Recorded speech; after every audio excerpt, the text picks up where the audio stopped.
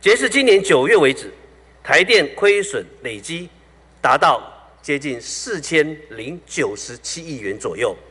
因此，政府在一百一十二年疫后特别预算编列了五百亿元补贴民生用电。另外，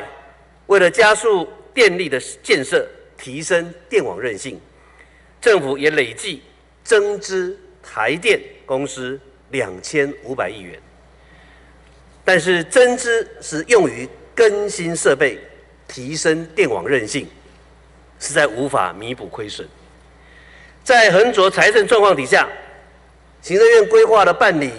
一百一十三年度中央政府总预算追加案一千亿元，必须持续补贴台电在二零二二到二零二四年吸收住宅、小商店等民生用电的成本，为确保。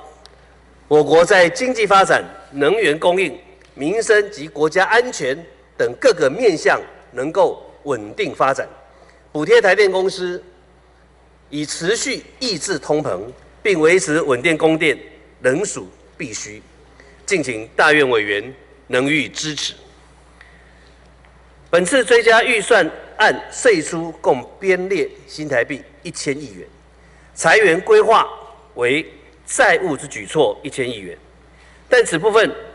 将优先运用一百一十二年度税计剩余加以支应，税出只要编列内容系经济部补助台电因国际燃料成本上涨，为稳定物价及照顾民生弱势所吸收用电成本所需的经费。以上仅就本追加预算案的编制重点概要说明。